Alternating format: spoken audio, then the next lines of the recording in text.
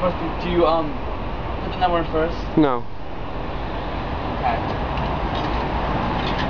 You ever used a vending machine?